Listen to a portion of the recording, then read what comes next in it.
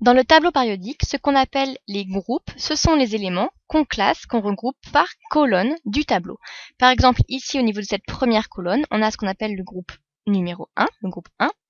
Ensuite, dans la deuxième colonne, on a le groupe 2, etc. jusque la 18e colonne du tableau. Donc ici le groupe 3, 4, 5, 6, 7, 8, 9, 10, 11, 12, 13, 14, 15, 16, 17 et donc la dernière 18.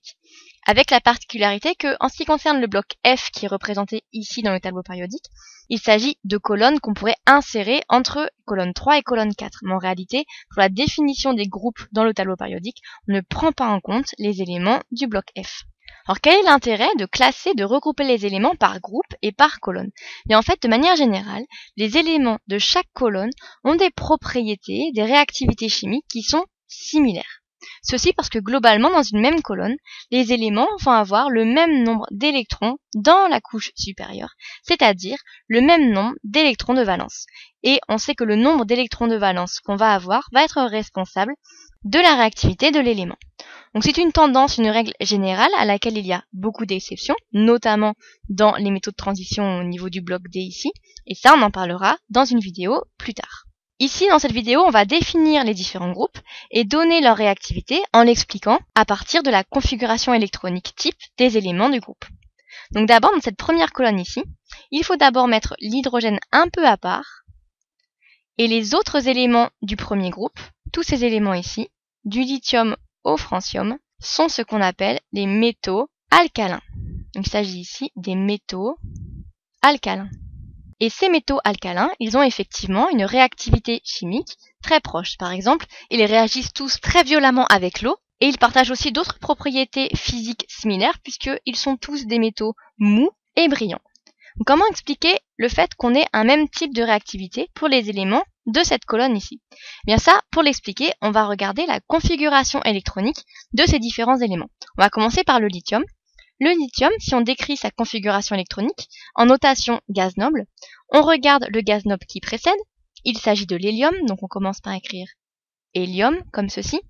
Et ensuite, on est sur la deuxième période, donc on va remplir tout d'abord l'orbital 2s avec un électron, puisqu'on est dans la première colonne. Donc la configuration électronique du lithium, c'est hélium 2s1.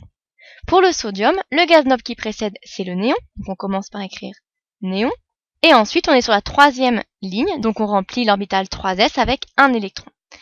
Et on peut continuer comme ça tout le long de la colonne, et on remarque qu'à chaque fois, la configuration électronique de l'élément, c'est un gaz noble, et ensuite une orbitale s remplie avec un électron. C'est-à-dire que pour chacun de ces éléments, on a un électron de valence. Donc pour satisfaire l'octet, pour avoir la configuration électronique d'un gaz noble, donc être particulièrement stable, il suffit à ces éléments de perdre un électron. Et c'est ça qui explique leur très forte réactivité. Le fait que cet électron ici peut être très facilement cédé. Et ces éléments sont tellement réactifs qu'on ne les trouve que sous forme cationique dans la nature, avec déjà cet électron perdu. À côté, on a le groupe 2. Le groupe 2, donc cette colonne ici, avec le beryllium, le magnésium, le calcium, etc. Ce sont ce qu'on appelle les métaux alcalino-terreux. Et également, au sein de ce groupe, de cette même colonne, on a des propriétés tout à fait similaires entre ces différents éléments. Et ça s'explique parce qu'ils ont tous deux électrons de valence. Parce que leur configuration électronique, ça va être le gaz noble et puis l'orbital S, complètement rempli avec deux électrons pour le beryllium, hélium 2s2 pour le magnésium, néon 3s2, etc., etc. Donc ils ont tous deux électrons de valence qu'ils peuvent facilement perdre pour avoir une configuration électronique d'un gaz noble et satisfaire l'octet avec 8 électrons dans la couche de plus haute énergie. Donc ils sont très réactifs, pas autant que les métaux alcalins, mais quand même très réactifs. De la même manière, on les trouve sous forme de combinaison avec d'autres éléments dans la nature et pas sous cette forme atomique pure. On arrive ensuite au bloc D. Donc on va commencer par le scandium, le premier élément ici de ce bloc D dans le groupe 3. La configuration électronique du scandium, c'est le gazon qui précède l'argon, donc on commence par argon. Ensuite, on est dans la quatrième période, donc on remplit l'orbital 4s avec deux électrons. Et on arrive au bloc D. On va donc remplir l'orbital 3D. Et là, ici, on est dans la première colonne du bloc D, donc un électron dans les orbitales D.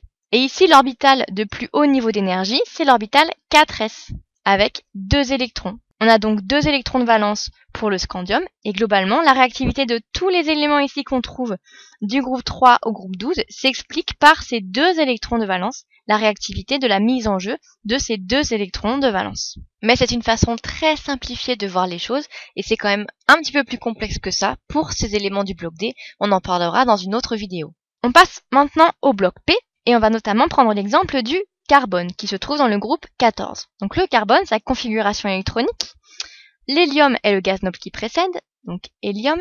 Ensuite, on remplit l'orbital 2s puisqu'on a la deuxième période complètement, 2s2. Et on arrive dans le bloc P avec donc les orbitales de P et 1, 2. Nous sommes dans la deuxième colonne du bloc P. Donc configuration électronique, hélium, 2s2, 2p2. On a donc 2 plus 2, 4 électrons de valence pour le carbone. Donc la réactivité du carbone s'explique par la présence de ces 4 électrons de valence. Et les propriétés similaires qu'on observe entre le carbone et les autres éléments de son groupe, groupe 14, comme par exemple le silicium, s'expliquent également par le fait qu'on a 4 électrons de valence pour tous ces éléments. Un autre exemple dans ce bloc P, c'est l'oxygène. L'oxygène, sa configuration électronique, ce sera hélium 2s2 2p4, avec donc 6 électrons de valence. Ça signifie qu'il suffit à l'oxygène de gagner 2 électrons pour satisfaire l'octet et avoir la configuration électronique identique au néon. Donc la réactivité de l'oxygène s'explique par le fait qu'on a 6 électrons de valence et que l'oxygène va avoir très fortement tendance à gagner, capter 2 électrons. Et ce sont des propriétés de réactivité similaires qu'on retrouve par exemple avec le soufre qui est dans le même groupe, dans la même colonne juste en dessous. Ensuite, on arrive à l'avant-dernière colonne du tableau qui est le groupe 17 qui correspond à la famille des halogènes. Les halogènes, ce sont des composés qui sont très très réactifs. Ils vont avoir tous 7 électrons de valence. On est dans le bloc P, dans la cinquième colonne du bloc P. On a donc une configuration électronique qui finit par NP5. Il manque donc un électron seulement à ces éléments pour avoir la configuration électronique d'un gaz noble et satisfaire l'octet. C'est pour ça qu'ils sont très très réactifs et qu'ils vont avoir tendance à réagir très fortement pour gagner un électron.